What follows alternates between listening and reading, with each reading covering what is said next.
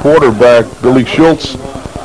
Gillis able to recover it. It'll be a second, about 11 for the Greyhounds. Well, the ball is directly at the 30-yard line of Holy Cross. Greyhounds once again are recovering the opening kickoff here. Shultz back to throw.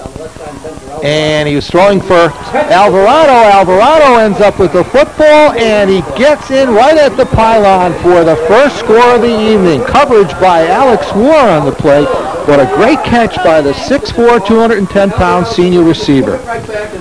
Ball flutters for Shultz, but receiver Alvarado does an excellent job going up and getting it, then getting into the end zone for the first score, and very quickly Naugatuck jumps on top here, six